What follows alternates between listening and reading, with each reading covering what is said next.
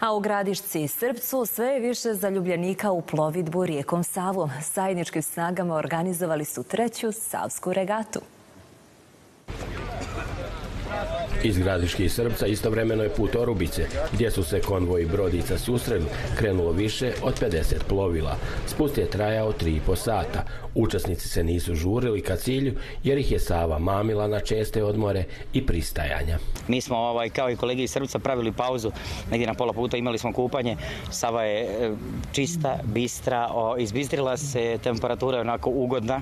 Možda bi nama pasalo i da je malo hladnija, ali ugodna je u svakom slučaju da se osvježite. Ovaj, mislim da je ovo projekat koji ima definitivno e, perspektivu i mislim da će iz godine u godinu da raste.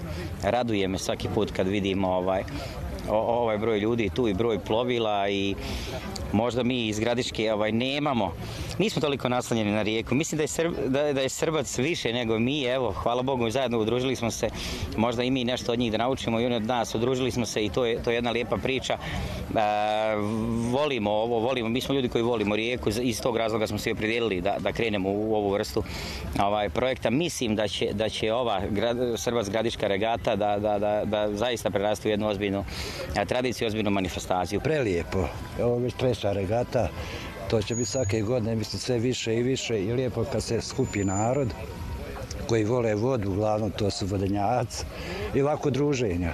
Za plovidbu Savom posebno su zainteresovani Srpčani. Poslije formiranja nautičkog kluba Sidro, uskoro bi na ušću Vrbasa u Savu trebala početi gradnja marine. Prošle godine Skupština opštine Srbac je usvojila zorin plan za izgradnju marine, trenutno u fazi izrada građevinskog ovaj, projekta i marina, ako Bog da, sljedeće godine trebala da počne, započne prvu fazu izgradnje.